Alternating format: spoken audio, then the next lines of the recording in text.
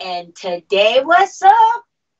We are talking with Nanciann on Act Real Studio about something that every single one of us needs, and there's never a shortage of use, and that is improv skills, right?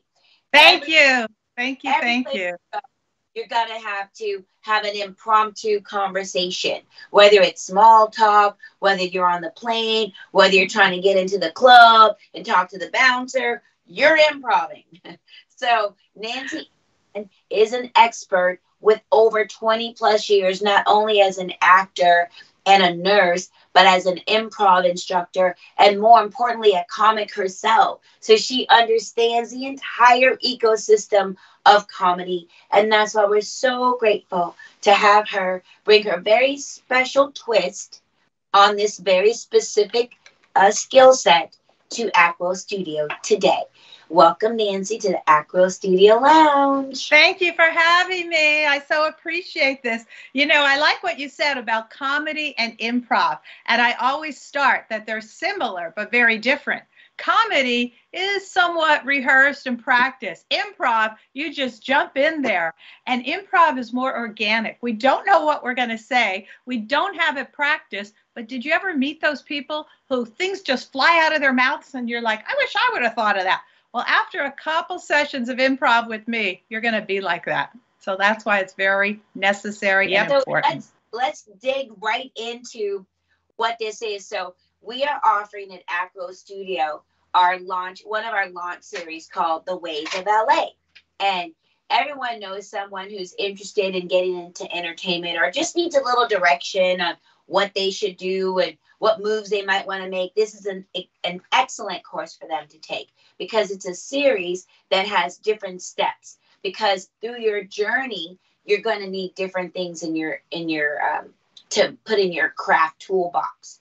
That's true. That's true. And one of the things I start with improv is using yes and because yes and as anybody who knows improv will open doors, but no but will shut the doors. So even though you may want to say no, you say yes, and I'd love to be on your committee, perhaps in a couple months. So yeah, you might be saying no, but you're saying yes, and. And yes, and will open doors. Yes, and I'd love to come to that party. Let me know when it is. So we need to practice the yes, and skill every day. It's a muscle. The more we do it, the easier it gets. So I go around and we do yes, and games. You can't rehearse them.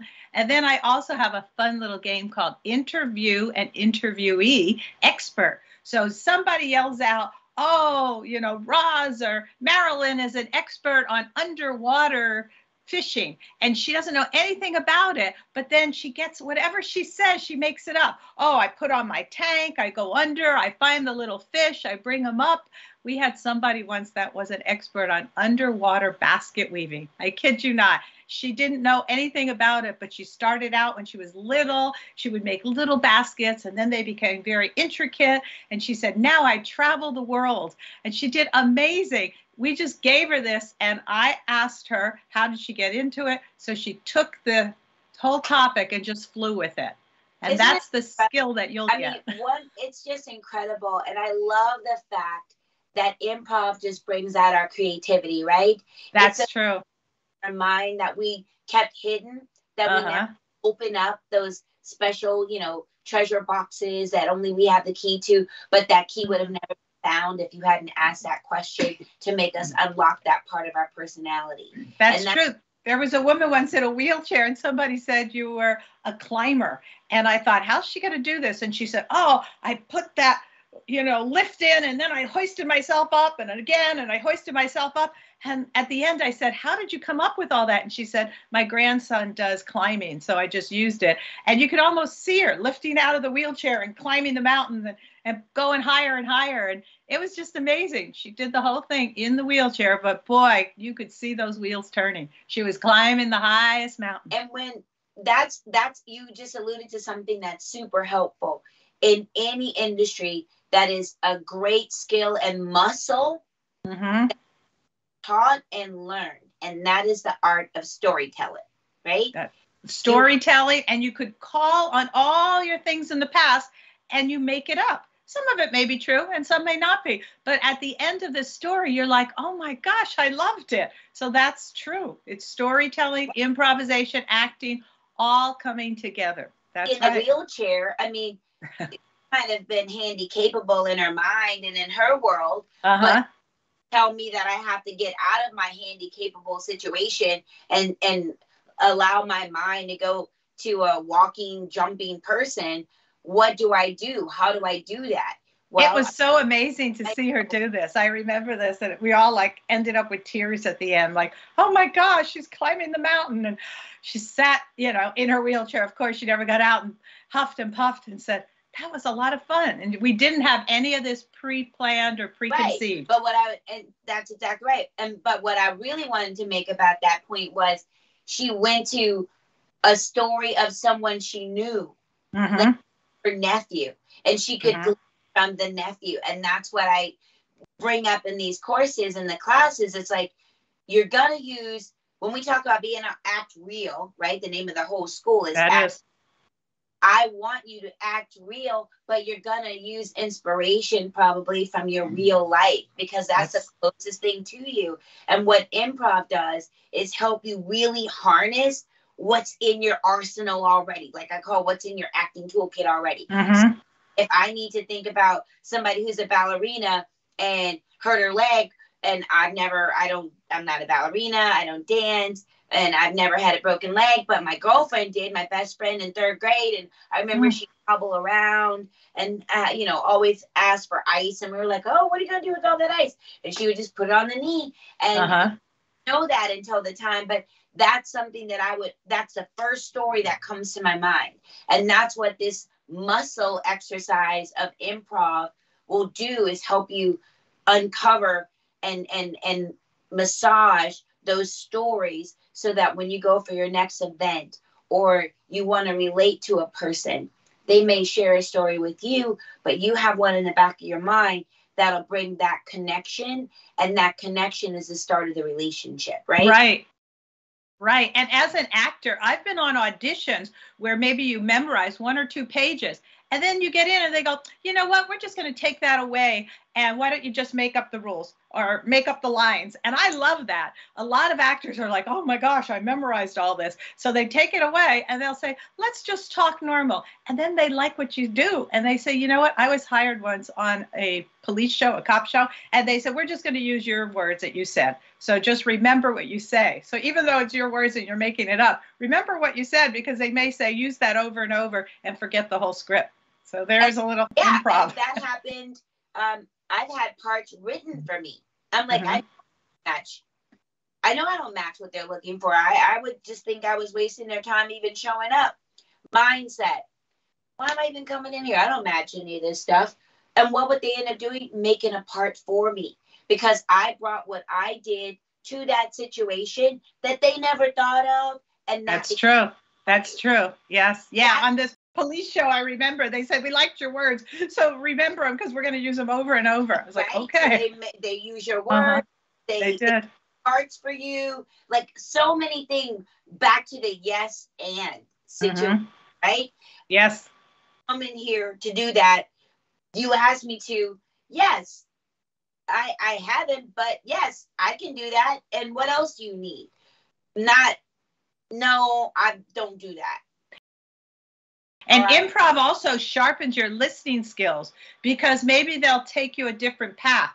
They'll say, you know, you came in here for the crazy mom, but we see you as the smart mom, and we want to take you down this path. So all of a sudden, you're changing the role, and they want you to change the role. So listening skills are so important. A lot of times, I've been told by casting people, you're out if you don't listen. We say, look to the left, look to the right, look straight ahead. And the people that start here and they go opposite, they're like, if they can't know what left and right is, they're out the door. there, there you go. And then they'll do that a lot. Profile, profile, and in the center. And the actors that go, oh, okay, and they start in the center and they do their own. It's like if they can't listen to that, we don't want them on the set because what are they going to be like on the set? Right. And, the, and really, one of the biggest assets that someone has to a community of uh, creatives on set is the ability to pivot. Yes. Yes. If you go, somebody isn't doesn't make it. Mm-hmm. They have an accident, right? That's right. Wardrobe malfunction like this that happened, Mm-hmm. or greater. But I have on clothes. I was. I could tell. or the other thing too, you come in at seven and they say, "Oh, don't worry, we're not going to get till till 12. And then you are mellowing out, and they go, "Oh, you know what? We need you now at eight or nine. You're like, "Oh, okay." So be ready always. I've had They that switch happen. The scenes, They switch the scenes, Right. Right. Uh-huh. right? And the mom in there, they're like, "Oh, hey, TJ, you can do that." I'm like, "Yes, I can." Yes, I can, and, and be ready in an hour, no problem. Even So I think I think it's great. And having been, um, I want to pivot a little bit to the uh, onset and and when you're a comic, you know, because we Mhm. are having our comedy courses, yes, giving open mics and opportunities right here in Orange County. If That's you guys, amazing. That's amazing. You could practice those skills, and that's so important because what people practice at home is so different when they get in front of an audience and the mic and the lights and maybe the hecklers. So you have to be ready to Yeah. pivot. comic, do you uh, pivot on stage? Like if you had a set of routine uh, planned, your 5 Mhm. minutes, and the room is just not receptive, like you're bombing and bombing. Do you go through just to get the practice, or do you try to change up your routine right then because you have that skill set to see if you can win them with another? I'm pretty flexible. A lot of comics aren't. I would change it up because I'll actually do a little interaction. Like, oh, I see you're enjoying your drink there so much, so you're talking to your drink. Is it talking back? So I'll kind of interact with the audience because if they're not listening to me, why should I just go blah, blah, blah? So I'll bring them in, you know, and I've done that before. It's like, oh, your drink must be really good. So, and then they realize, oh, I'm talking out loud to my drink. And some of them interact with me and some just kind of feel, you know, funny that I called on them. But I'll say, you should be aware of what's happening in front of you. So yes, I do pivot very, very easily. I work with the audience, and each audience is different. Yes. and then you are making a first impression and you're a judge tell me a little bit about some of the competitions you've judged and what Oh. it was stood out to the winners and those who didn't place Oh, thank you. I, I was a judge for the Miss Anaheim contest, and we had different categories the young ones that were at elementary school, junior high, and high school. And a lot of them, they came in so prepared, it was so polished. You got the feeling like if somebody in the audience would sneeze, they would lose their place. Like they memorized it to the point. And we didn't really like those people. A lot of us didn't vote for them. We liked the ones that it appeared like they knew what they were talking about, but they were also talking off the cuff. And I'm sure it was memorized to the point, but they knew when to pause. They kind of looked a certain way. If people laughed, they interacted with the guy over there. And those are the people that went on. And then it was also a beauty contest. You know, they were in workout clothes. They don't do a lot of bathing suits anymore. They did more workout clothes, they did evening gowns. So all of this is how we judged. And again, when they spoke, they had to speak like they knew what they were talking about, but they could also, I love that word, pivot and change. And some of them were so prepared and they were so stiff. We were like, oh, I don't know about that person because these contests are polishing the kids to go out and represent their area, whether it's Anaheim, Cerritos, or whatever, and then they'll go on to the Miss California pageant. So we need them to be flexible and think in the moment. That's what we were looking that's so for. great that's such an incredibly uh, great nugget Yes. for people who can just be present the information in an organic way Mm-hmm. not show that they've just been over rehearsed because then it feels staged and you don't Right, right. They didn't come across as real. I mean, they may looked pretty and in their, you know, but they didn't come across as real. yeah. I am very pretty. Act real. We want real people. Oh, hi. Oh, I'm not acting now? Huh. I'm acting now. I'm acting now. How am I doing? Oh, I'm I'm real now. Do you see the difference? Like, yes. I don't know. I don't know if people know the difference. I know the difference, but sometimes they're not taught that. Even when you go in class and you're being mm-hmm. put up, you're just kind of observing that particular behavior. But what we want to know is what was the thought process to get you there? The real work is behind the scenes and here. And some people change their voices, which isn't necessary. Right. You know, they're doing a commercial and all of a sudden it's like, Would you like to buy this book? This book is very good. It's on laughter. Where it's like you don't have to change your book voice. It's I, I have a book on laughter, you know, just be real. the mind, right? So it's the way you think about it in your head that's gonna change the delivery. From, uh-huh. from your pacing to the the point of origin mm-hmm. to your focus to your intention. And that's where technique comes in and really being able to think on your feet. And that's right. If your partner, whether you're doing a presentation for a business, let's say you're in a business relationship, or if you are in a scene with another person and you have one whole way you're going to go at it, you have your backstory, and they just showed up late, sweaty, Ugh. and you have to go on. And you are supposed to be at a restaurant, a high end restaurant, and here comes this sweaty guy right next to you. Are you going to go ahead and and do the scene as is, or are you going to find a way to pivot, improv it to make it make sense? Sometimes you have to do that on set because things happen. And it'll make you look like a, a more professional actor too. And they know that this guy maybe isn't really ready. And in the audition, they'll go, okay, we're not going to use him, but we like the way she presented it, so we'll go with her and another guy. So it's it you you got to learn to make it your own and be real, and they'll see that and they'll hire you for that. Yes. yes. So, and you mm-hmm. just said it right there act real. Act real. That's what it's about. You know, you were saying something about delivering your lines. A long time ago, somebody said, put like a friend's name in, even though you're not going to say it out loud. Like, you know, Anne, I'd like to tell you about this laughter book. It has helped me so much versus, hi, I'd like to tell you about this laughter book, because that's more presentation. So if you just think in your mind, I have a real good friend, Anne. We grew up together. So I always use Anne. So I go, you know, Anne, but they don't hear that. And then I just go, I'd like to tell you about this book. So if you put somebody in there, whether it's a friend, a mom, or a cousin, and then just start talking, but try not to say that part out loud.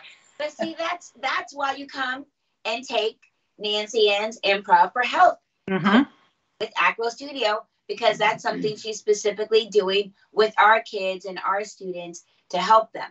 And I and and and to that point, that's such a good tangible takeaway. Yes. It is useful tools, things you'll remember on the spot, acronyms, whatever we're going to come up with, however uh-huh. best. And that's the other thing I love I love about what we're offering. It's you're going to find a place to shine. And each person is different. So we are going to find how you shine here and somebody else shines there and how you're different. We're going to pull that out. This is what our studio is about. Yay. Yay. Was, anything else you want to add? I um I I think that um it's going to be a real gift. I'm so honored to have you. I'm really excited about getting the comedy part going and having the kids come in on and actually get to go up in front of their families. I know? know, and try it out loud because it and is different. Yes and and really learn the business side of it yes. too. How do I get the bookings? What do I charge? How many freebies do I give? What do you know? Please, you know, why do I have to do it this way and not this way? And give them a reason because a lot of times we get so close to all of our material, whether it's a screen mm-hmm. play that we wrote or, you know, a show idea or a poem. And once we put it in the world, it really is what the world says about it. Right. And you know, you never know who's in the audience. I was told this a long time ago whether you're doing a live show, a play, comedy, somebody in the back may just be sitting there eating his food, listening, but he's a big casting person or a producer or a director. So, yes, you want to do your best at every show because you don't know who that guy is in the back. He may have lots of connections up in Hollywood. Especially because mm-hmm. of the Act Real Studio Lounge showcase days. Yes we have lots of fun people who like to show up because we know talent over here and we're going to teach you the talent to win in whatever field you're about to go into in the creative arts. So I think that's it for today. I love you, Nanciann. Thank so- you. Thank you so much for having me. It's great seeing you guys. And remember, people, keep it real, act real.